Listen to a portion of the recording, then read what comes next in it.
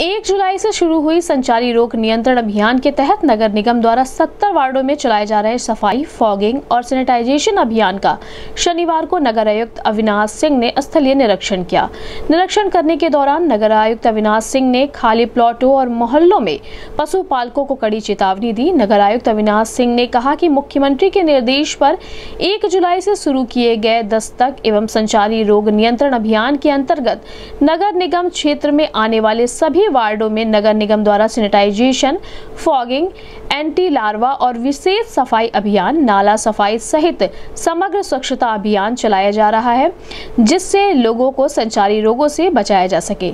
इस अवसर पर अपर नगर आयुक्त संजय शुक्ला, मुख्य इंजीनियर सुरेश चंद, नगर स्वास्थ्य अधिकारी डॉक्टर मुकेश कुमार रस्तोगी, सुपरवाइजर विंध्याचल सहित स्थानीय पार्षद और नगर निगम के अधिकारी और कर्मचारी मौजूद रहे। इस संबंध में गोरखपुर न्यूज़ से बात करते हुए नगर आयुक्त अविनाश सिंह ने कहा घंटे के अंदर थोड़ा साफ़ कर दिया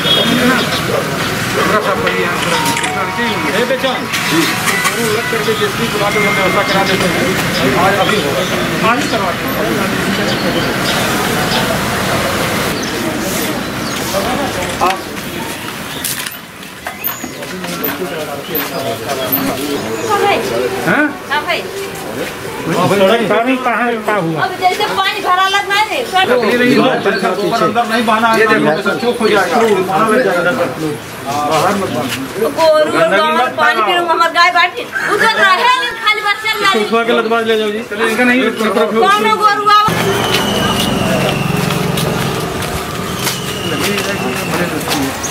बढ़िया सड़क है पार्क बना हुआ अभी बना कर। ये सब पहले मंगाए थे पानी कितना था? बना है।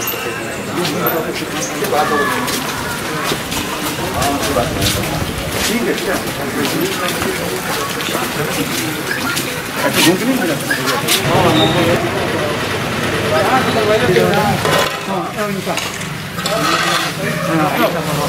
सर ये दोनों जो है ये उस नहीं रहा है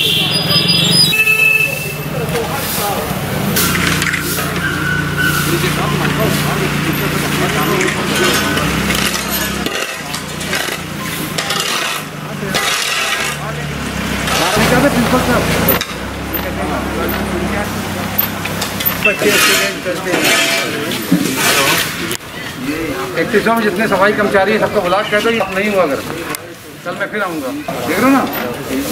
बीमारी की ज़रूरत तो यही है। इसीलिए पकड़ में आ जाएगा। जैसा कि आपके संज्ञान में होगा पूरे उत्तर प्रदेश में एक जुलाई से लेकर संचारी रोग नियंत्रण अभियान माननीय मुख्यमंत्री जी के दिशा निर्देश पे चल रहा है।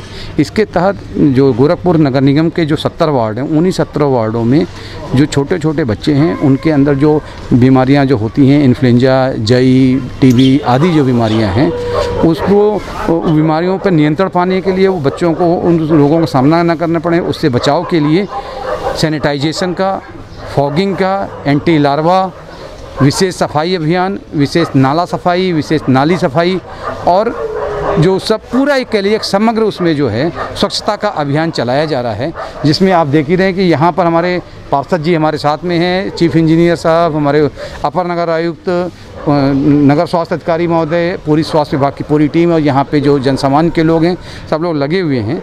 यहाँ पर आने पर जो कुछ कमियाँ दिखी हैं क्योंकि ये अभी बताते हैं कि जीडीए से पूरी तरह से हमको हैंडओवर नहीं हुई है, लेकिन हम इस बात के लिए कटिबद्ध हैं कि जो यहाँ के रहने वाले हमारे लोग हैं, उनको सभी प्रकार की जो सुविधाएँ मुख्य समस्या ये जो समझ में आई, सड़कें यहाँ बहुत अच्छी बनी हुई हैं।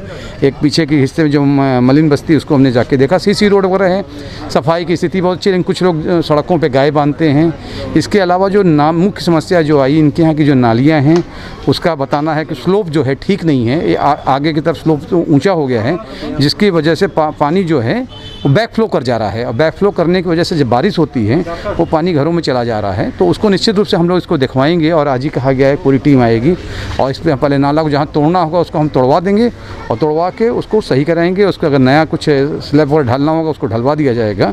मेन मुद्दा है कैसे ये है मुख्य बिंदु ये है कैसे हम इस नाली की पूरी तरह से सफ़ाई करा दें। तो आज ये जो दस्तक अभियान, संचारी रोग नियंत्रण अभियान के तहत हम सभी लोग यहाँ पे एकत्र होकर जो है अभियान चला रहे हैं और अभी ये अभियान जो है पूरे जुलाई माह चलेगा।